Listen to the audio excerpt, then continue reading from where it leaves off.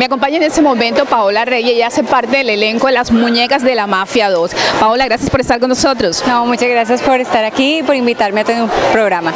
Háblanos un poco del papel que tú desarrollas en este elenco tan importante. Bueno, estoy súper contenta porque es un personaje que deja ver la situación de muchas mujeres que tratan de salir de esta vida del narcotráfico, pero que esa sombra oscura está todo el tiempo constantemente detrás de ellas y a través de la serie vamos a ver las consecuencias tan nefastas que es haber estado en este mundo y, y desafortunadamente no poder salir de él.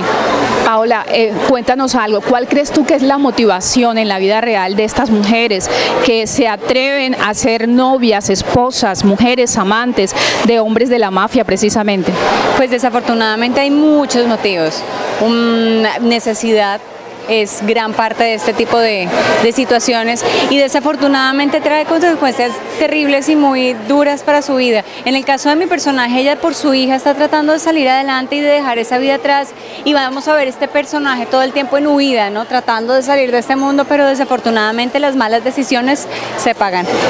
Vemos que en el mundo de la mafia los protagonistas son los hombres, pero en esta historia se habla de las mujeres. ¿Tú crees que el papel de las mujeres en la mafia es importante? Sí, definitivamente, sobre todo lo que más a mí me, llamó la atención y lo que más me hizo eh, aceptar este proyecto fue el hecho de contar la historia de todas esas mujeres que sufren las consecuencias de haber estado en el mundo, ¿no? Como que desafortunadamente eh, el hecho de tomar ese tipo de decisiones cerradas eh, no les trae nada bueno, entonces yo creo que, que, eso fue lo que más me motivó también para hacer este personaje, mostrar una realidad que desafortunadamente pasa mucho en nuestro país. En la vida real, ¿tú tendrías alguna relación con un hombre de estos? No, no.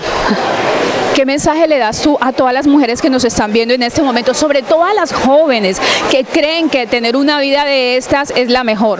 No, definitivamente eso no paga. Yo creo que la, la paz, la tranquilidad con la que tú puedas vivir todos los días, el saber que tú estás haciendo algo por ti mismo y que te estás ganando tu sustento diario, es una satisfacción muy importante y sobre todo tener una familia tranquila, tener una familia en paz, una vida tranquila, eso no tiene precio. Vemos que cada vez que estas mujeres entran a esta vida o, o, ellas se consideran feas o están en pobreza. ¿Tú crees que esta es la salida? No, definitivamente esta no es la salida. Yo creo que a veces cuando uno está en un momento duro, desesperado, uno cree que la salida fácil es la mejor y creo que esos atajos lo único que traen son cosas negativas y cosas malas. Yo creo que en la vida hay que esforzarse. Mira, hay cosas que me gustan mucho de las mujeres colombianas y es que son muy emprendedoras. O sea, con un carrito de arepa sacan a, su, a, sus hijos adelante vendiendo empanadas. O sea, la mujer colombiana tiene herramientas también para empezar a salir, estudiar, prepararse. O sea, hay, hay cómo salir que no sea esta vida. Una vida mucho más eh, tranquila, mucho más trabajada, pero mucho más en paz. Paola tiene algo de Brenda. No, no.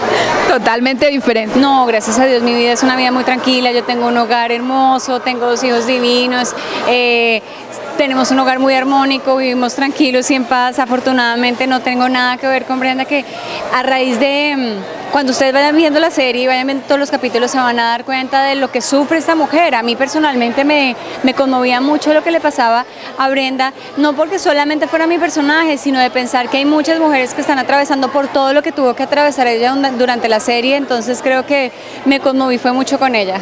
¿Por qué no se pueden perder esta serie? Me gusta mucho, la verdad, es una propuesta diferente, eh, está muy bien contada, muy bien editada, eh, los libretos son muy buenos, son historias diferentes, así que se pueden identificar con cualquiera de los personajes, mejor dicho, no se la pueden perder, que lo mantiene a uno pegado a la televisión.